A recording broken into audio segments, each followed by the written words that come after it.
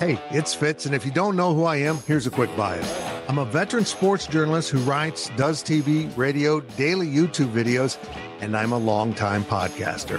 Also, I have metastatic stage 4 prostate cancer that came out of remission in January of 23. During the pandemic, my doctors advised me to stay at home, and the Life of Fitz podcast was born.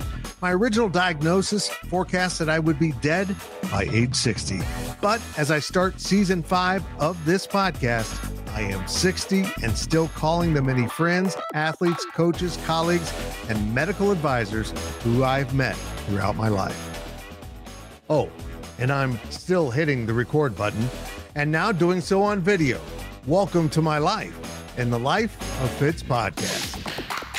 Presented by the great people at Blueville Nursery in Manhattan. Welcome to another edition of Life of Fitz. And this was supposed to be last week's edition. Yeah, I kind of screwed up the interview and the audio was a mess after not hooking something up properly following my return from Las Vegas. Old man versus technology. Technology, you win this one. But I figured it out and Jill Shields was good enough to come back into the Cats and Dogs studio and do it over again. And I was very generous of her to help me through my moment of senior citizenry. That wasn't easy to say. Jill is the number two person in the K State athletic department, and she has worked her way up through the ranks, starting out as an academic advisor. And now she is the deputy AD under Gene Taylor. She has earned her stripes in the world of athletics, starting off as a really good basketball player and after college, then getting into coaching before moving into athletic administration. And along the way, she met a man. She met a man in Wichita when she was coaching for Wichita State, and she married that man. And that man, Mark Shields, is a high school graduate with me from Salina Central. Jill grew up just south of Salina and they had to go to Wichita to meet. And now they live in Manhattan. So I've known Mark a very long time. And uh, thus, this was such a logical one I've been sitting on for a few years. And Jill's a really interesting person. And this conversation is a little bit different than the one I screwed up. It's got a little more stuff about college athletics in it that um, I think you're going to enjoy quite a bit. So now let's bring in my friend from right here in Manhattan, Kansas, Jill Shields. And now we welcome in Jill Shields again. yeah, this is deja vu.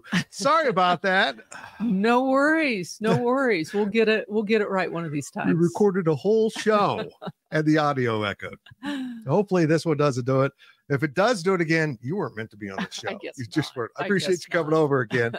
Um, I'm trying not to replicate the previous conversation, but I do want to go back to the start because I found out last time we talked, we're from, you're from Assaria, just south of the mean streets of Salina, where yes. your husband Mark and I grew up. Yep. We were in a gang together. mm-hmm. Yep, we were. Some tough yeah. Salina was. Those those were rough, rough roads. And we were talking about back in the day, back before social media, you didn't know kids from other schools unless it was like a basketball camp, which you probably did quite a bit of. But for most of us, even though you were in the same county, we didn't know each other back then. Yeah, it was a little different then. I grew up 10 miles from Mark and I did not know him at all. Whereas now our, it probably is best. uh, but yeah, now our student athletes, they connect with other student athletes from across the country. It's crazy. It's crazy how they all know each other. I mean, now. there are, you know, back back in the day, there was some camps. I don't know what was going on when you were coming up because you're younger, but it was Heart of America camp. Right. Oh, yeah. The old yep. Ken Cochran camp. Yep. And uh, we all did that. In fact, I mean, that was an elite camp back then. Yeah. I, I know this because Brad Underwood and Kevin Muff and Jeff Gio and all the guys that were really good uh, went to the other end of the floor for me. they had a small group session with coaches, and I had the guys that volunteered. You were at the other end. Mm-hmm. Yeah. Hi guys. So, uh, but oh, yeah, it, now now they just social media. You just know everyone, yeah. and it's nuts. But yeah. yeah, you grew up right next to your husband and didn't know it. So let's go back though. You you hooped it up pretty good, and then you went to where? I I did go down the road. Um, about an hour, 15 minutes from here. It, it's not, it's not anything that's in my bio. so um, but I did, I did. I was an infamous 424 transfer back in the day. Yep. So yeah, yeah. Went there and really had a good experience. It just, it just wasn't for me. Yeah. And um, had some injuries and ended up at the uh, the great city of Great Bend, Kansas and played for the Hall of Famer Jerry McCarty out there for nice. a year. Yeah. And uh, then ended up down in Florida at the University of Central Florida. So I've got them back in the back in the Big Twelve. So that's going to be be fun and it, it's kind of exciting happening. What was their athletic standing back then? What conference were they? We were uh, Sun Belt. Yeah. I think maybe we were in the American at one point or Conference Conference USA, I believe. Yeah. So it was it they were bouncing at that time a little bit too.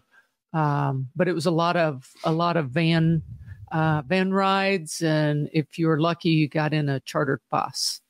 So yeah. That level. You got it. Yes, yes. Yes. Definitely. Well, it's made they've come a long ways. Yeah. They're flying everywhere now. They're, they are flying flying everywhere now. No how, how, cool is it though to have your alma mater back in the league? In it's the league? fun. It, it's a lot of fun. Yeah. It's I took the trip last year with women's basketball, and uh, it's just changed so much. Yeah. When I was there, there were twenty thousand students, and now there's like sixty five thousand. That's crazy. Students. So it's uh, but it's fun to have them have them in the league and to be able to to talk to the coaches a little bit and and just be supportive and mm-hmm. and obviously they know I'm a K Stater, but um, but it's still fun.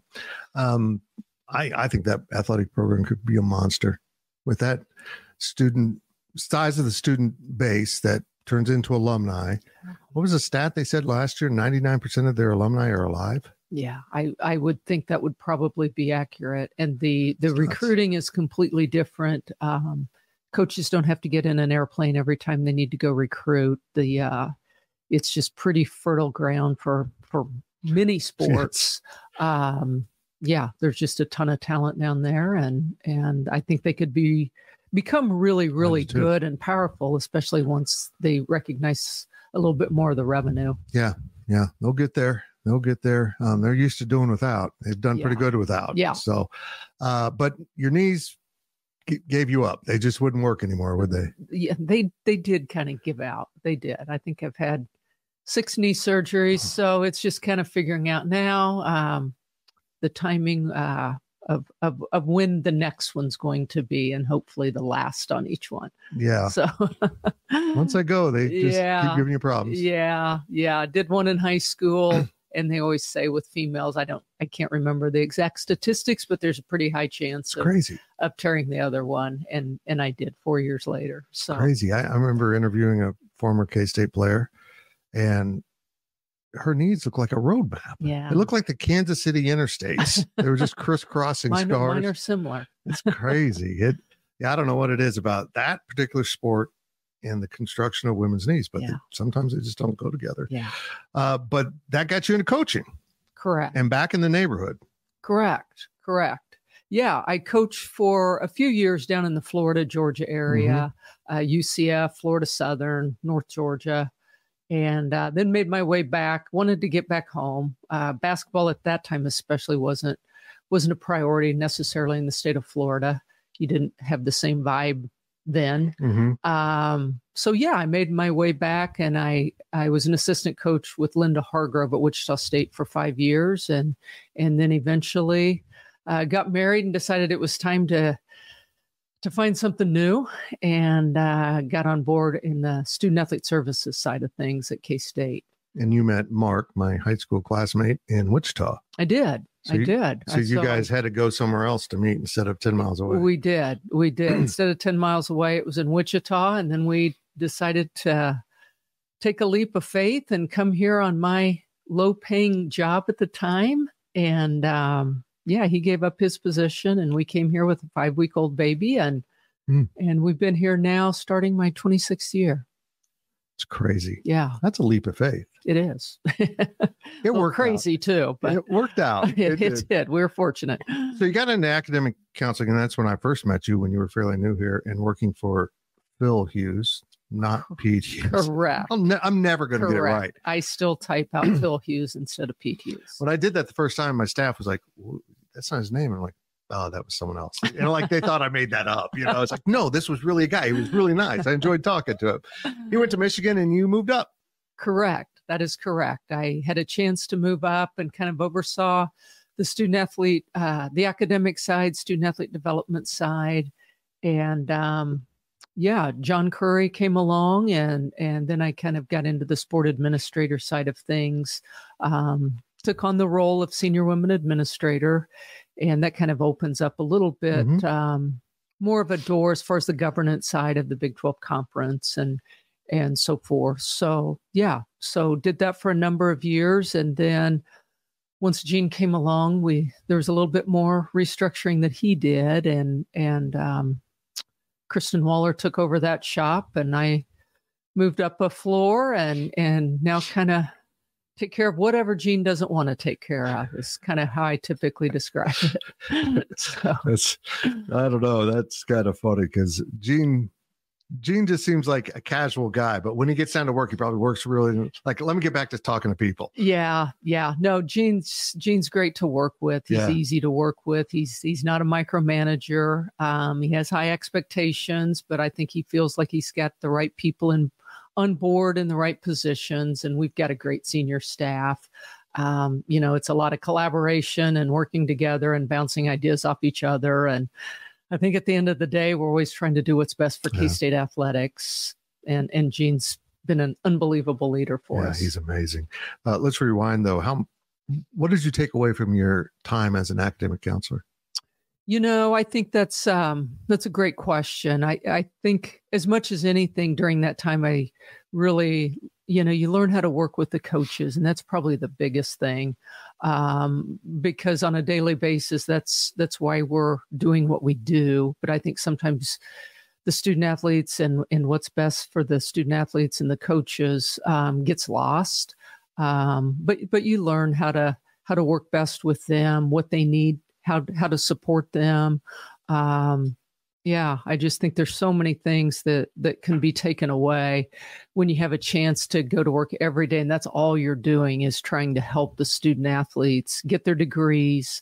Um, you know, you're certainly trying to to make sure that that stays the priority of of athletics and and sometimes you have to remind people that that's really why we're why we are doing what we're doing. We're trying to help our student athletes get their degrees. It seems like we're getting farther from that.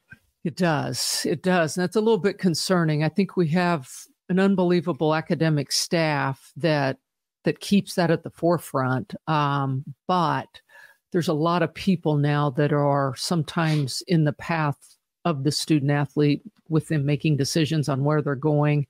It used to be a little bit simpler and that they wanted to go to a good athletic program, but then they were also, if not first on their list, at least second on their list was okay, what does your business degree look like, or what does your architectural program look like? Um, so we have to make sure to remind them of those things and make sure that that's still what they're looking at and and remind them of the value of the degree and that five or ten years after you're done playing that's that's what you're leaning on and you didn't just work for a coach you worked with bill snyder who is very uh, wonderful man, but this is the way we need to do things. Mm, correct. That's, That's correct. No, I did have an opportunity to work with with football and Coach Snyder for seven years with the academics, and it was, yeah. I mean, I remember my first meeting that I went to. I I knew that I had to be really good because I think he, you know, he wasn't hundred percent convinced that I was the person for the job. So over 140 guys and I knew I needed to know every grade on every guy and every tutoring appointment. And if they had a low grade, what tutor appointments they had coming up and everything. But but I think it really prepared me for for future years and and just the attention to detail and and, and really just operating at a really high level and and what it takes to be really good at at the Big 12 level. I can't even keep track of myself. I, don't, I, don't, know how you do that. That's uh, that's impressive. Yeah, that w- that was a few years ago. I, I honestly don't know that I could still do that. It was it was a lot. It's it was a lot. Patience. It does. It does, and you really have to enjoy it. I I love working with the guys. They were terrific. Um, you know, I had two little little kids. Um, my youngest was was born um, when Darren Sproles was a sophomore and I remember him carrying him around study table in the evenings for me because we were literally there every night till at least 10 o'clock, if not until 11 o'clock, uh, trying to get things done and and on the computers and and it's just different now because every student athlete has a laptop and they you know they, it's yeah. just a different setting now uh, than it was 15 years ago it's weird i even I forget when you used to have to go somewhere to use a computer. Exactly. And a printer and all yep. of those things. Yes. We had many, many late nights with guys in their slippers and, and would come up and we would just be there until the work got done. Well, that's, if it was me, I would have been there much later than that because I put everything off to the last second, including testing the sound before we started. Um, but that, that is a really interesting way to get your base in college athletics because it's got to focus you entirely on the student athlete. You know what I mean? You yeah. see everything from their perspective. Yeah, yeah. It, it is different. I do. I still think some of the best people that work in college athletics are the ones that came up kind of through grassroots. Yeah. Um, whether they were a student athlete or not, they at least you know started very entry level positions and kind of worked their way up and those are typically in my opinion a lot of your most valuable employees mm-hmm. um, because they've done everything and nothing is beneath them. Um, you know i mean i remember a lot of days driving to campus and i would check classes all morning and i would check the front of the class and i would check the end of the class.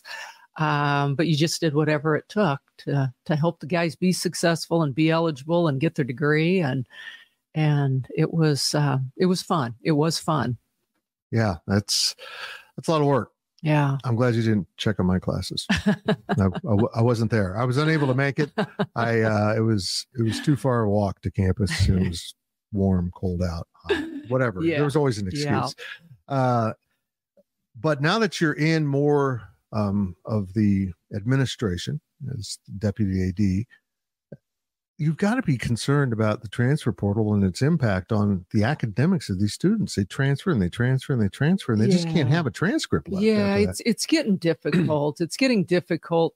Um, you, you, know, you want them to have the understanding when they go into the portal what they need to be eligible when they come out the other end at a different institution. Um, because most most, for instance, most institutions don't allow a student athlete to transfer in more than fifty percent it's crazy. Of a degree, and yet you may need 60% of a degree completion to meet NCAA requirements. So it's it's difficult and it's yeah, it's it, it's tough. It's tough to see the student athletes just bounce in and out. And, and, and maybe the rev share will change it.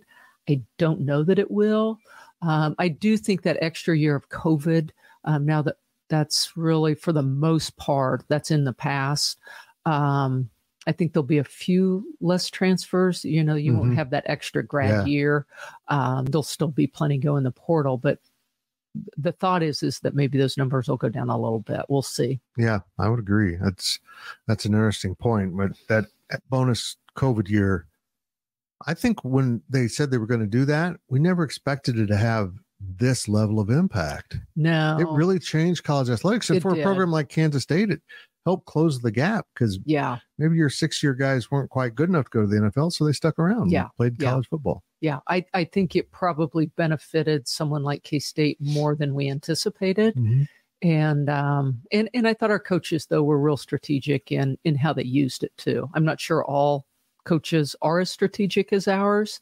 I'm a little biased, but um Coach Klieman, for example, he's going to look at someone who's great for his locker room 1st mm-hmm. and then look at their film whereas it's typically flip-flopped with a with a lot of other institutions yeah he, he told me that was one of the lessons that came out of covid you gotta you gotta have your locker room yeah, yeah. in good shape or nothing else works right Um, so he really does put an emphasis on that. I'm I'm fascinated by his recruiting because yeah. he uses his NIL kind of to retain more than acquire. Correct. And it's I think it's a really wise use of it. Yeah.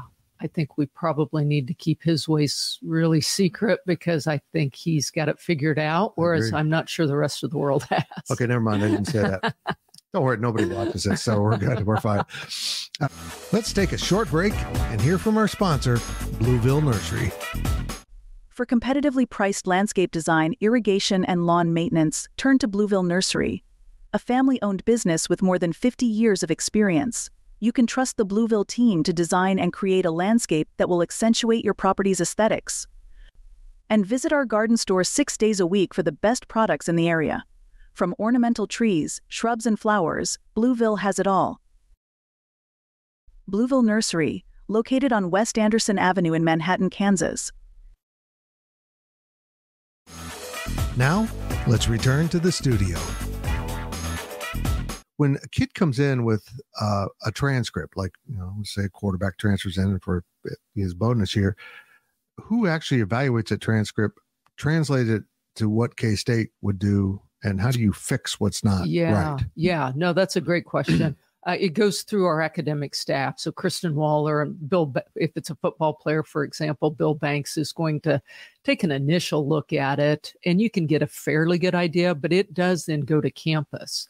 So I don't think anyone anticipated across the country the work volume that we're all mm-hmm. of us were putting on campus because every time you have a transfer and you want to know are they going to be eligible someone from campus has to give you an, an official evaluation um, before you can tell a coach okay fly that student athlete in for a visit or yes we can offer them aid um, because we may not know.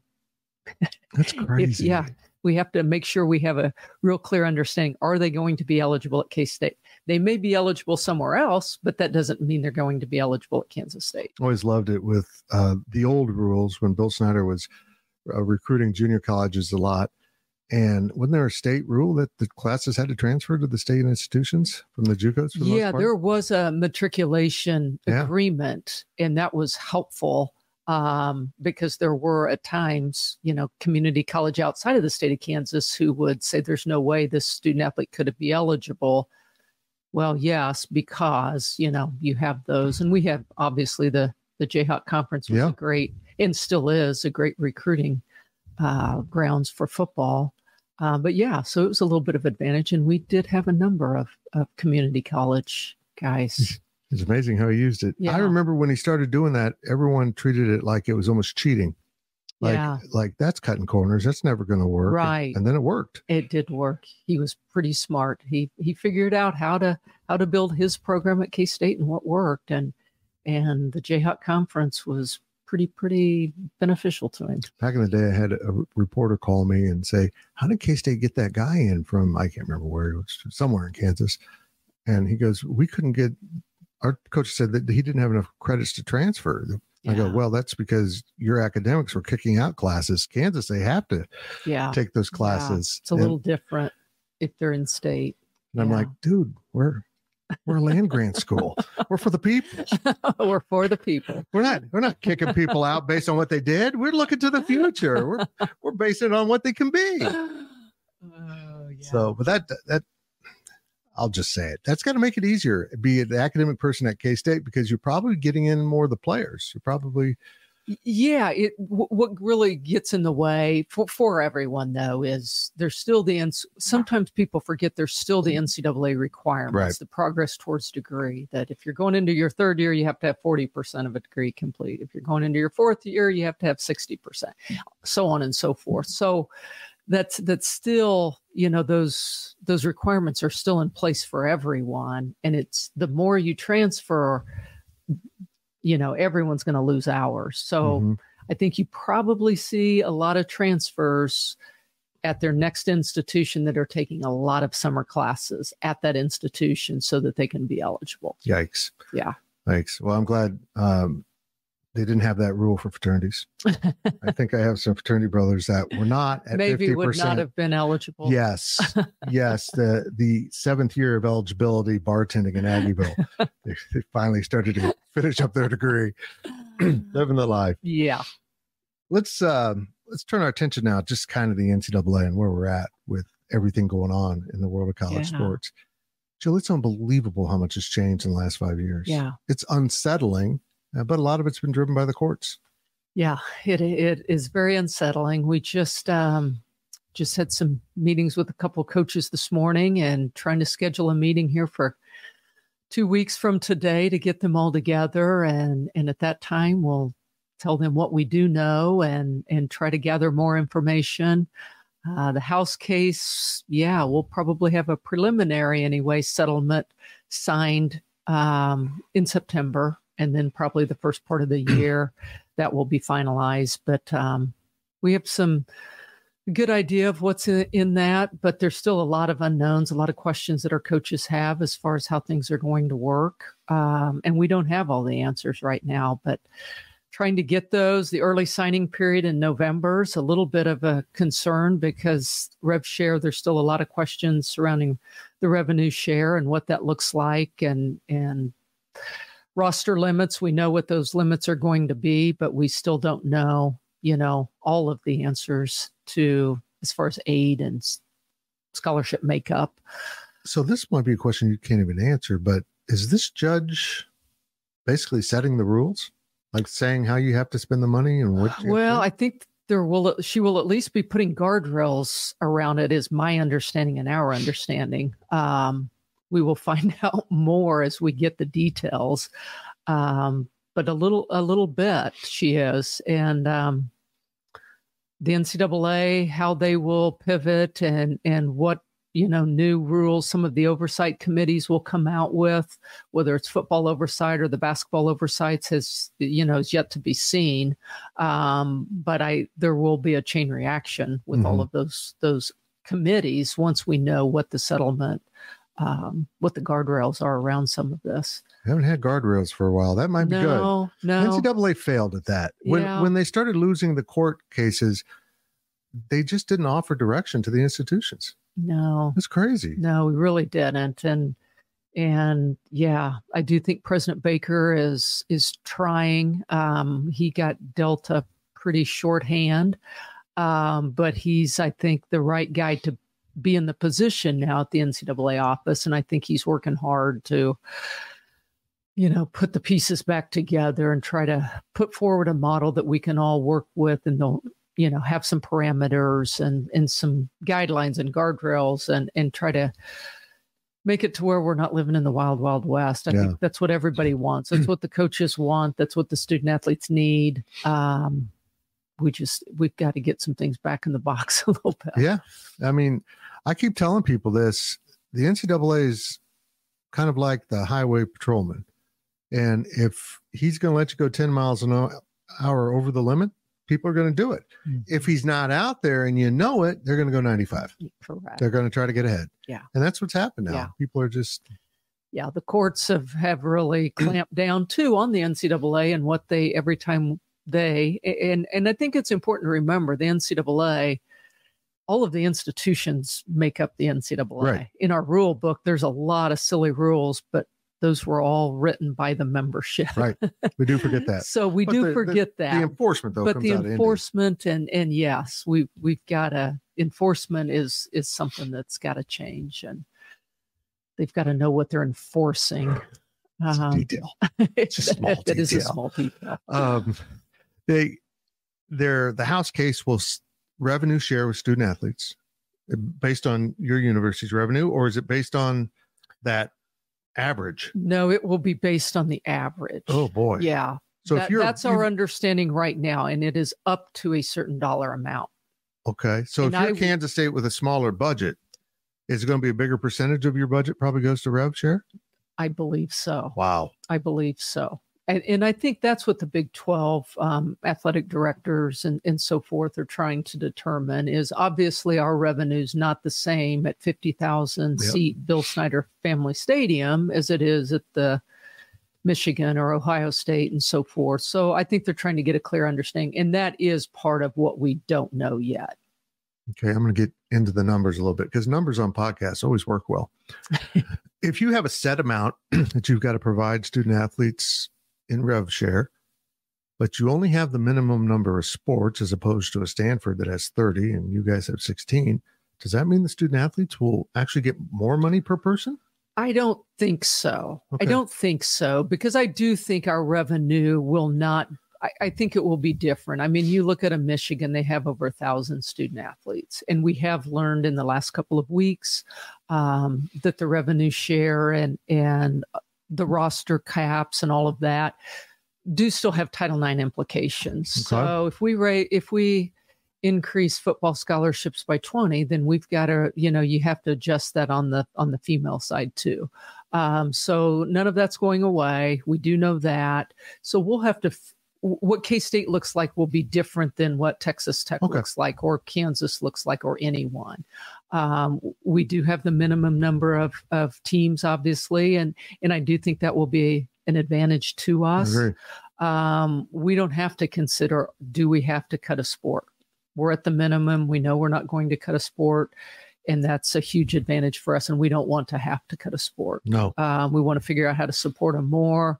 We want to have a, a really quality athletic department from one to sixteen, and that's important to Gene. And and we're just trying to figure out how to how to do that best with whatever those numbers are. We really don't know. It's crazy. It's crazy. It's yeah. coming down by athletics fast you know, by the standard of college athletics, it's coming soon, and people still don't know what they're going to yeah. be facing. It's nuts. Yeah. Um, but uh, you brought it up the number of scholarships. Now there's a proposal from the membership to raise those numbers in certain sports, including football, which I think silly. Uh, I'm happy to see baseball and softball getting full roster funding, basically. Mm-hmm. Um, it was they were under scholarship. Volleyball's getting some more. Men's basketball's getting to being back to equal with women's basketball, which was always weird to me. Yeah. But football is looking at going from 85 to 105, which it was when Bill Snyder arrived. It's a different landscape now, but I'm not comfortable with it. That's going to take so yeah. many players out of the process that I think the non-power schools, the FCS, even down to Division two, are going to have this huge loss of the player pool. Yeah, yeah, and and it's important to remember that the 105 is a roster limit, right. so you can't go over. You can fund up to 105, right. but that doesn't mean you have to fund right. 105 full scholarships. So those are all numbers for the roster only, and your scholarships can go up. I think the athletic directors um, in our conference are all talking about, you know, do we raise our, our numbers up? And, and what does that look like? And is that a per institution decision or is that a conference decision? Does that get into the perception of you're not taking this as seriously as Ohio State that has 105 scholarships? Yeah, I, I think it could, but I think everyone has to do too what they can afford to oh, do. Course, yeah. And, well, I don't know that. I just do stuff. you don't talk to my wife. Yeah. so I think that's what everyone's trying to figure out. We know what we can do, but what can we really do? Yeah. Um, it's easy to say we can have all of those fully funded, but the money has to, we do have to identify the, the revenue stream. I just feel like something else is coming. You know, we had the NIL and then we had the transfer portal, and it's like, okay, some, some, I feel like something else is coming the courts are going to find something uh, else. We, we can't have more than this. This is this is enough. It's we've crazy. got we've got to figure this one out first. Will some athletic departments, and this is a hypothetical because you know K State, not everyone, but will some athletic departments just be absolutely crushed by this ruling? I think so. That that's my opinion. That's my opinion. But yes, I, I just think there's there's only so many dollars, and and and most institutions now are are spending. You, you know, you're uh, you're a nonprofit. You're spending what you make. Um, so to come up with more. yes, or yeah, and and so now, I think everyone is is thinking about where does that extra money come from. So, I think you know, other than the budget being smaller, I think K State's in a good position because uh, I'm not a huge John Currie fan, but there was a few things he did right. He promoted you, and uh, he was so good with raising money and bring fiscal intelligence to the yeah. athletic department. Yeah. And that's been carried over. Uh, and K State has maintained its budget. It stayed under budget yeah. quite a bit. Um, most departments are that way. Most departments are what's our it's outgo is income plus 10%. I mean, they're just always over budget. Right. And I don't see how you're going to be able to do that in the future. Yeah, it's it's going to be hard. But but you're right. John John did do a terrific job. We get the the big thing too is he got the facilities project Absolutely. going. And um, some of the institutions now that have those on the horizon, um, that would trouble. be really concerning. I'm glad we have those, and I think Gene. I know Gene would tell you the same thing that that we have those behind us instead of in front of us is huge for K State. It's enormous, and I think some of the Pac-12 schools are going to come into the conference and go to Ames or Stillwater and go, how do these little schools that we yeah. look down upon have so much better facilities? Yeah, yeah, I agree. The arms race in the Big 12 was legit. Mm-hmm. What happened to the Big 12 with Oklahoma and Texas losing, if I recall, moving out, I should say losing them. Uh, if I recall, Gene like put everything on the front burner at that point. We got to get our facilities up and yeah. ready to go in case something happens yeah. in the conference. Yeah.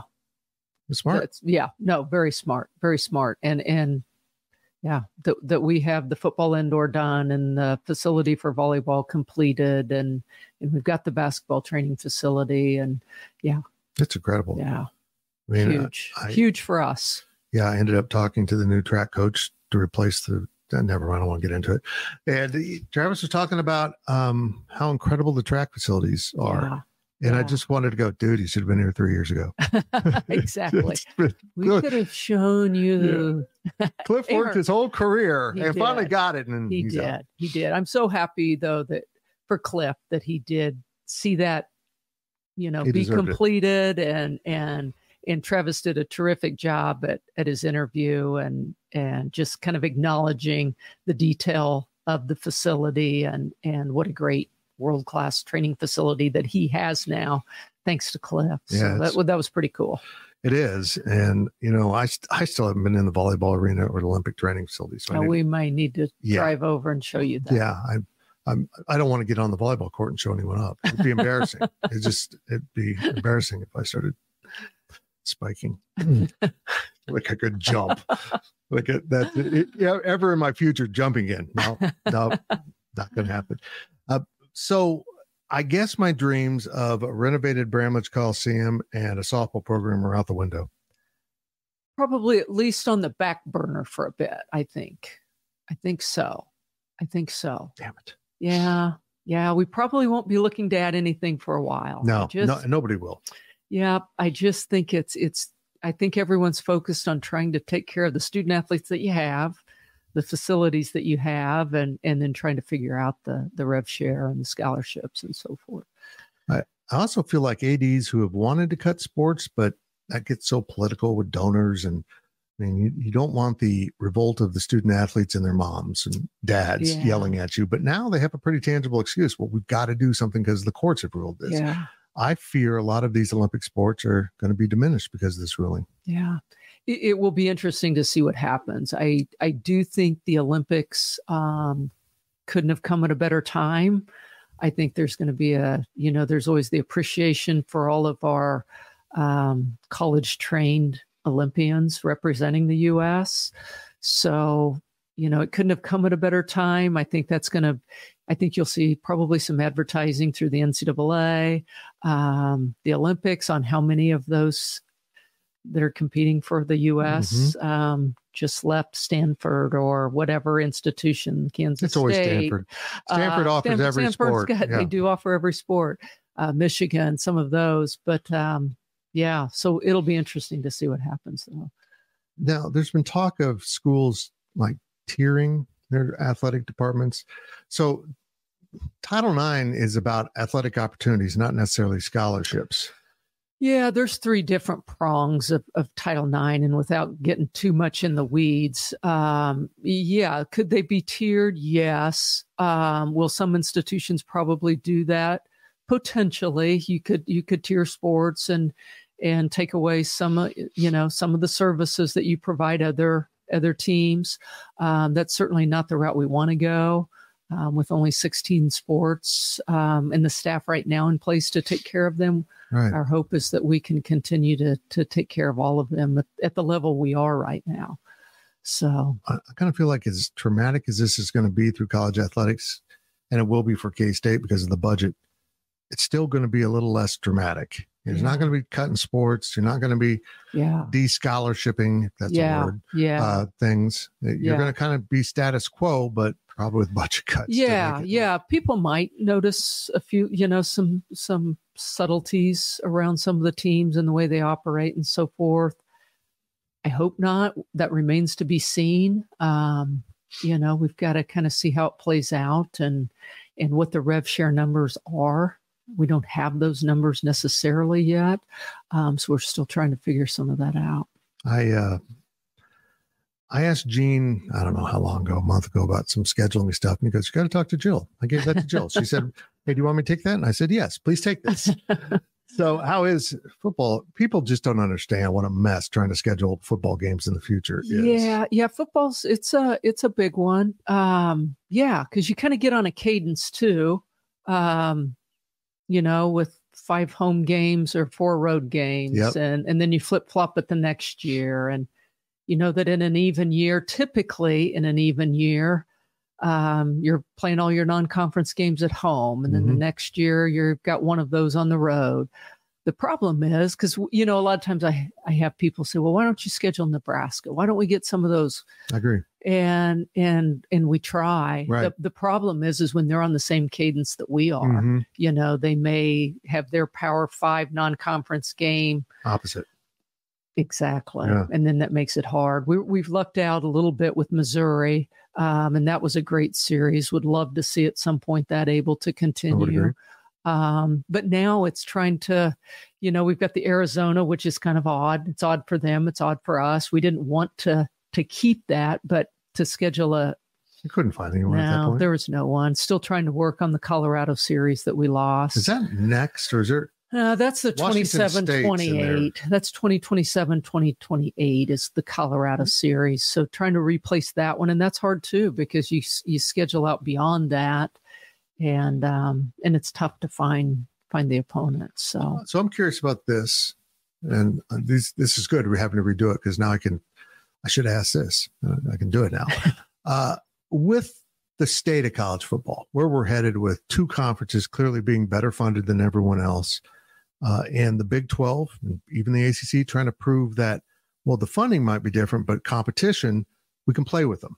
Mm-hmm. Uh, is there an effort to try to schedule Big 10 SEC in the non con? Yeah. Are they open to it? Yeah. You know, that's, it's a good question. Um, we haven't gotten there yet. Um, we have, you know, we have our Power Five opponent, our one that we typically right. play in the non-conference scheduled out to like 2032. Yeah. Um, so do we look look beyond and look at you know Oklahoma again and and so forth? We had talked to them when we knew they were leaving the the conference about you know a potential um, home and home with them. Our fans would love it. It would be a great draw for them. It would be a great draw for us. And I do think we'll continue to try to get them back on the schedule, but who knows when that will be. Yeah. Um, but yeah, I, th- I think we will try to continue with a Big Ten opponent or an SEC. Uh, you know, whether they want to play us will right. be the big thing. No, honestly, if I'm them, I don't. Yeah, exactly. I got everything to lose here. Exactly. Um, exactly. So that that will be interesting, particularly if everything plays out and the ACC ceases. It's gonna. Yeah. I don't know who K State's going to play in the non-conference if right. they won't play. Yeah. Yeah. It's crazy. Yeah. Can also can I get a series? I know Army's coming up next season. Army's yes. coming in. Can I get a home and home with them, home and away? Like, you want to go to Army? I want to go to Army. I think it'd be really cool. See what we can do. But it's not really. Uh, well, they're going to the American this year, aren't they? Correct. Yeah. Correct. So at least they're not independent. Yeah. Yeah. You having fun trying to schedule? You got to Oregon State, which was really good. Yeah, yeah. Thank, thank you. you. Know, I didn't want to go to Piscataway. I appreciate it. Yeah, no, they didn't want um, they didn't want us, and we didn't really care to to go ahead and fulfill that. And yeah, so Oregon State will be good. You know that that was after the Pac-12 fell mm-hmm. apart, mm-hmm. and and uh, kind it, it happened to work for us when we needed a series. So trying to help them a little bit and and help us. And it, it worked out. So we'll head to Oregon here. Okay. Well, if you ever need any advice on scheduling, I'm here for you, okay. sister. I, I will I'll give you a call. I got it. I got it. Well, tell Mark hi. Um, we'll do. Although now Mark and I are texting. and as we discussed last time, we got to get fire pit time in. Although Absolutely. probably won't be with a fire in Kansas. Plus, not, ne- not next week anyway. I don't think you could burn a fire with the humidity. I don't think it's possible to get a fire to light right now in this state. So, but we'll get all that taken care of. Okay, that sounds good. That Plus, sounds great. We're going to be really busy in August. So That's true. Jill, thank you so okay, much. Okay, thank you.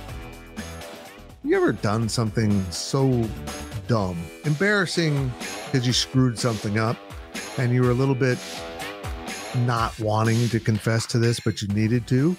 That was me in our first interview with Jill. Yep. I just hooked up something wrong, had the wrong toggle switched, and all the sound was ruined. It was very gracious of Jill to come back in. And I got to tell you, Jill Shields is a really good soul. And so is her husband, Mark. I've known him for, well, a long time. We went to high school together. And uh, I hope you enjoyed that conversation. It steered a little bit more into athletics than the one that I ruined. Uh, but I thought there were some things going on in college athletics that needed to be addressed right now. And that was fun. Plan on being back next week. Schedule's beginning to warm up, though, for football as we have our first football practice at Kansas State to go watch on August 1st. And somehow that's right around the corner. Appreciate everyone listening. I'll talk to you real soon. I appreciate you listening to this week's edition of Life of Fitz.